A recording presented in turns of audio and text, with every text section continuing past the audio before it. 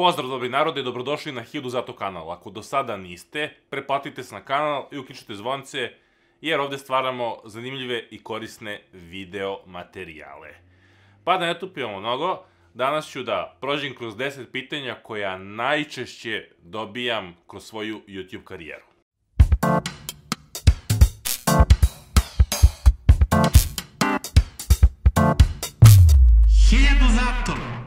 Kako si se odlučio na to da koristiš YouTube kao platformu? Pa iskreno od uvek sam bio fasciniran filmom. Dakle, ceo jedan proces pravljenja filma. Treba ti neki scenario, trebaju ti glumci, treba ti priča, trebaju ti rekviziti. Sto nekih stvari ti treba snimanje, video editing itd. itd. itd. Tako da je meni YouTube nekako došao kao prirodna platforma jer me to zanimalo. Zapravo kada smo osnovali X, ja sam želao, to je bilo pre 12 godina okruglo, da to bude isključivo YouTube kanal, a da na sajtu pratimo taj sadržaj sa YouTube-a, odnosno da ga podržimo kroz neke vesti i slične stvari. Međutim, tada internet nije dozvoljavao da budemo na YouTube-u iz jednostavnog razloga što nije bio dovoljno brz, korisnici, odnosno gledaoci nisu imali pa naviku da koriste YouTube pre 12 godina, ali sada je to jedna sasvim normalna stvar, tako da prirodna stvar za mene YouTube, bukvalno.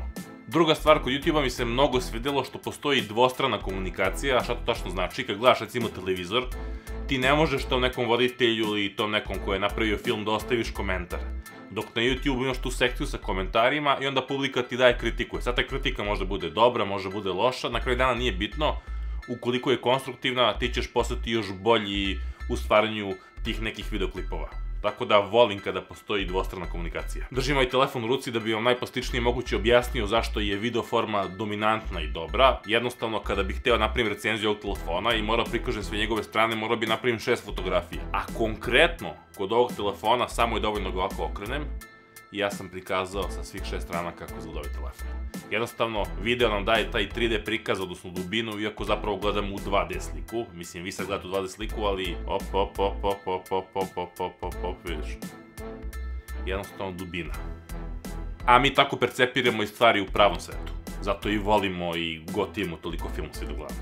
Da li je YouTube zanimanje? Pa YouTube može da bude zanimanje, ali ne mora obavezno to da bude. Može da bude i hobi. Nekome je zanimanje, nekome je hobi.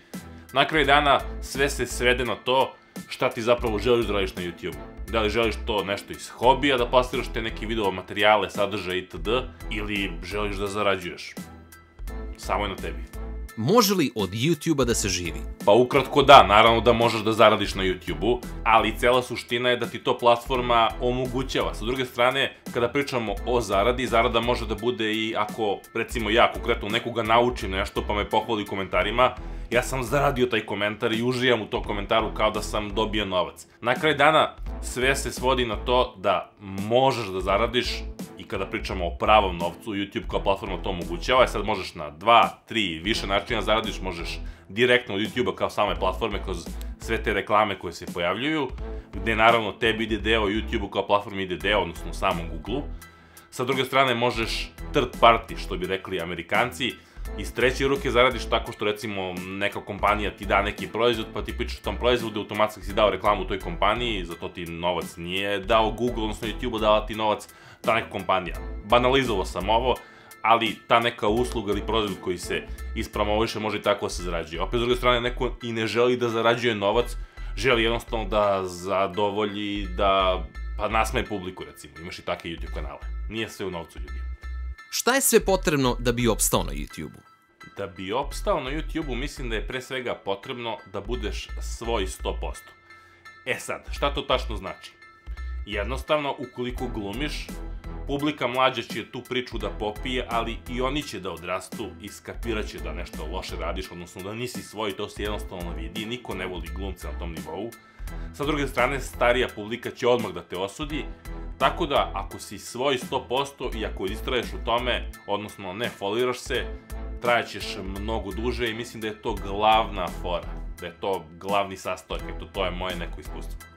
Da li na YouTube-u ima dovoljno mesta za sve? Uf, ima mesta koliko hoćeš. Mislim, da se ne lažemo, nismo na stadionu ili nekoj koncertnoj hali pa je da je broj mesta numerisan i da ne može da uđe više jedna osoba. Jednostavno, YouTube prostor je kao neko drvo koje se grana i grana i grana i tako ide u beskraj i svako može da postane autor na YouTube-u. E sad, koliko će biti dobar, odnosno koliko će biti uspešan, odnosno koliko će biti ostvaren, možda je to prava reč, jer nekom je ostvarenost i kad ima 1000 subscribera, ali ti 1000 subscribera koji njega prati, odnosno pratilaca, voli to što on radi. I on je uspeo da dođe do svih hiljada ljudi na svetu koji voli baš to što on plasira.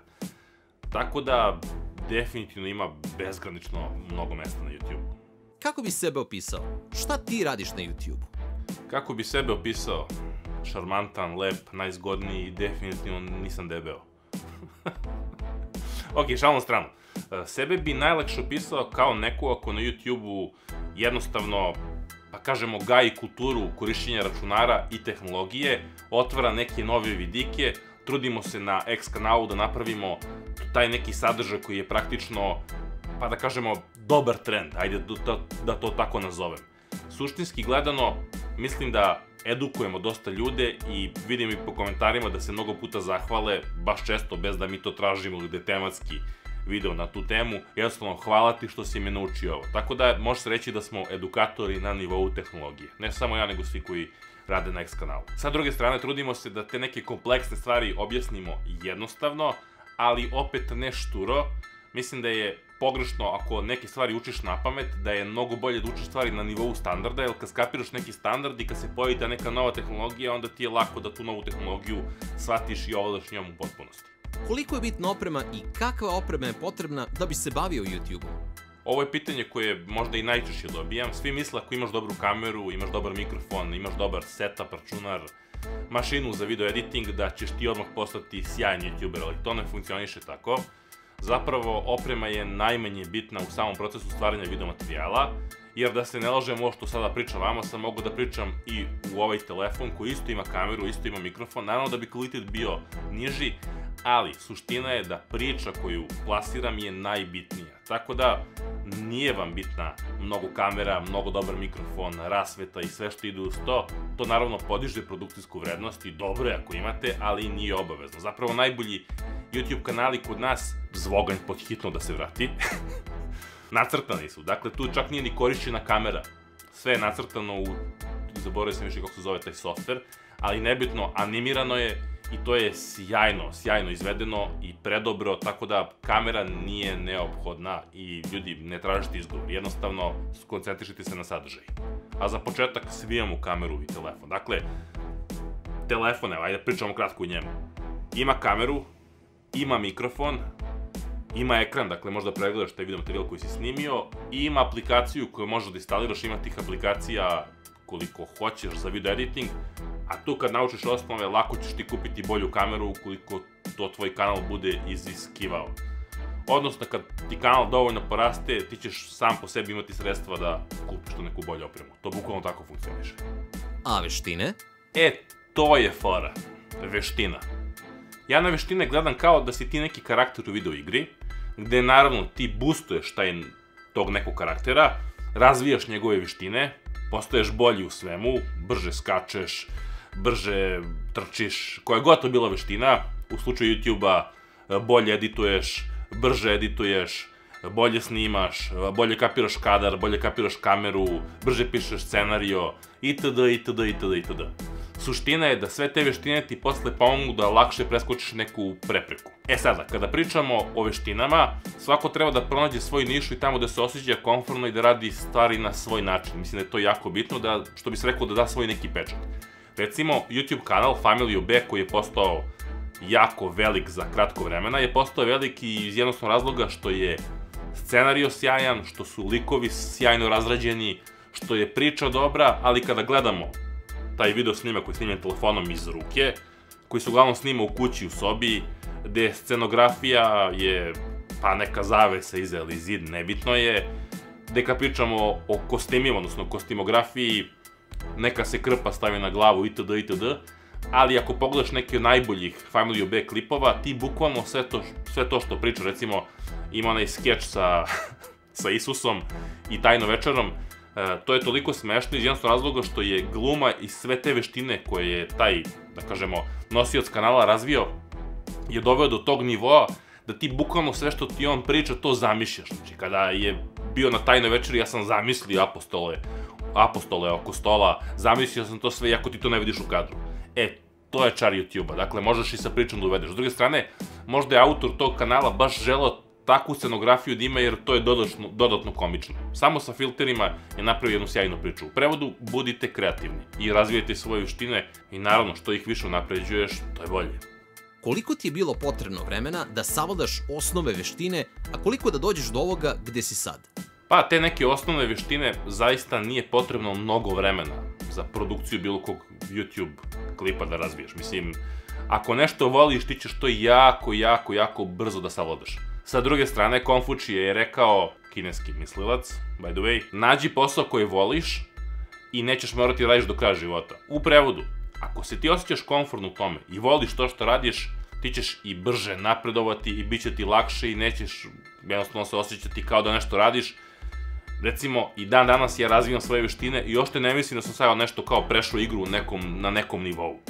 Kao došao sam do 100% nečega ti dođeš do tog nekog začaranog kruga, do ivice i onda kapiraš da kad si na ivici tog kruga, kad si savladao ceo taj krug, da postoji još jedan krug, još jedan krug, još jedan krug. I onda dođete do onoga, ja znam da ništa ne znam. Ali to je zapravo dobar mindset. Kad tako razmišljaš, onda sve vreme i napreduješ i usavršavaš se. Mislim, dovoljno pogledam svoje prve video materijale i da pogledam video materijale sada, neke poslednje, na svim nivoima su pa, bezgranično mnogo bolji. A isto tako siguran sam da ću za 5-6 godina kad budem pogledao ove sadašnje video materijale, shvatiti šta sam mogao bolje da uradim, odnosno znati mogao si ovo bolje i da nešto što sad ne primećujem ću tada primetiti. Jednostavno, nastavljaš da se razvijaš. Šta bi poručio svima onima koji žele da se bave ovim poslom ili hobijem? Pa okej, okay, mislim, ne tražite izgovor za početak.